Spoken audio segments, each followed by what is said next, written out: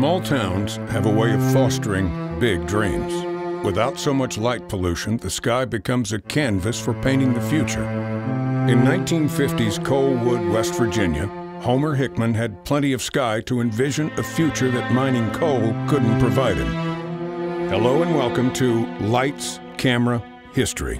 October Sky was released in 1999, and even to this day, I can still hear that violin score play every time I look up at the stars.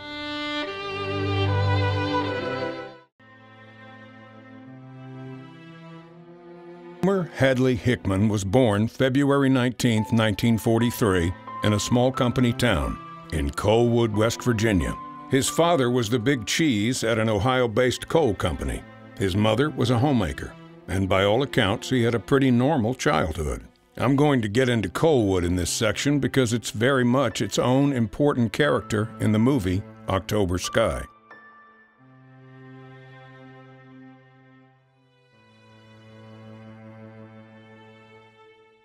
But first, let's discuss Sputnik. The Cold War made for some interesting competition among the United States and the Soviet Union. Case in point, the space race. Just after World War II, the two sides began to compete in a ballistic missile showdown. Whomever had the better missiles had an edge in military preparedness. So, in order to showcase who was better, each country announced four days apart that they would attempt to launch a man-made satellite in space over the next few years. The Russians would win this one. On October 4, 1957, the Russians successfully launched Sputnik.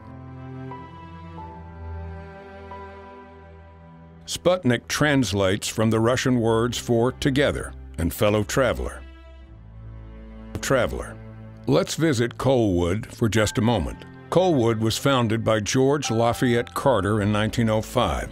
He constructed a mine, calling it the Carter Coal Mine Company, and built offices, houses, a schoolhouse, the Carter Coal Company store, a church, and more. Carter hired a dentist and doctor to provide services to his miners. Beginning mostly in the 1880s, company towns were springing up all across the United States. Even to this day, company towns still exist all across the country, just in different forms. Some examples of past and present company towns include DuPont Chemical Company, DuPont, Washington, Hershey, Pennsylvania, Grand, Missouri, Missouri Lumber and Mining Company, and Kohler, Wisconsin. They work like this. You put in an honest day's labor, in return, they provide the housing, medical treatment, dental, stores, houses of worship, schools, markets, and recreation facilities. Sounds nice to some degree. However, they were often controlling and restrictive for an employee. You were likely to become dependent on the company. Some companies would pay you in company dollars to be used at company stores. Coalwood, for example, will still issue cash or credit, but if you messed around and got into debt, you were given company money as a way to be regulated. I owe my soul to the company store.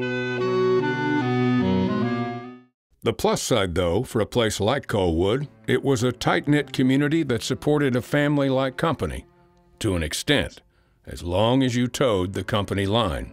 Nobody was more of a company man than John Hickam, Homer's father. He rose up the ranks, despite not having an engineering degree. Because of this, he was incredibly loyal to a man known as the captain. He was through and through a company man. If you're not a company man, a place like Coalwood could be a bleak place to live. This is what makes October Sky such an interesting movie. It's the story of a group of high school students and their hope of a bright future with the backdrop of the very drab Coalwood.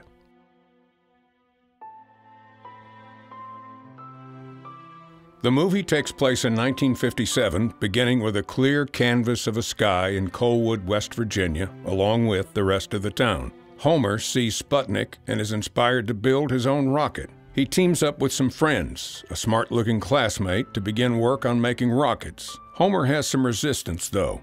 His father is not supported. But the town has a few cast of characters that help aid the boys in their rocket science. Among these are Miss Riley, the very supportive teacher played by Laura Dern, who is having some health problems. She convinces the boys to enter in a science fair to show them naysayers and to win scholarships. While all this is going on, a strike in Coalwood is brewing, and eventually it happens.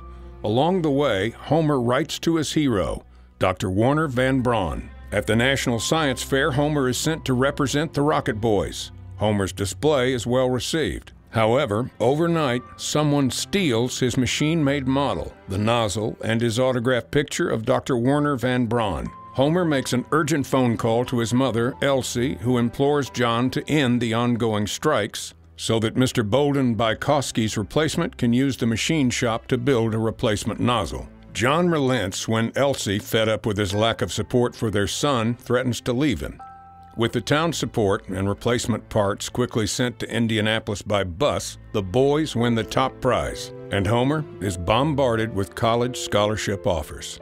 He's also congratulated by Van Braun himself, though not realizing his idol's identity. Miss Riley congratulates the boys. They fire one last rocket titled Miss Riley, and Homer and his father bond. Very nice story. Cue the tears.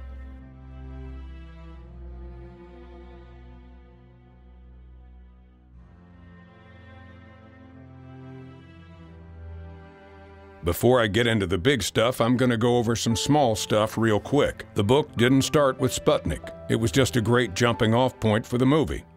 Homer never tried out or even played football. Little side note, he did help design the cannon used for football games at Virginia Tech. The book spans a longer period, not what seems like one school year. Sonny got the autographed picture of Von Braun from his grandma in the movie. He got it from his mother in the book, along with a chocolate bar. The Rocket Boys had to advertise the launches in real life. In the movie, the Rocket Boys got arrested. This never happened in real life. They were just suspected briefly. They never burned down the blockhouse, although a mock one is standing somewhere outside modern Coalwood. That information is dated, not sure if it still is.